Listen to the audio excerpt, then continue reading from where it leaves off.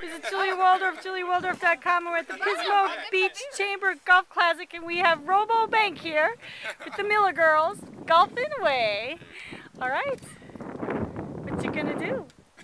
Are you gonna say, there we go. One, two, three, yeah! You're I'm supposed to go, woo! Okay, a high five, put it down. One, two, three. Yeah!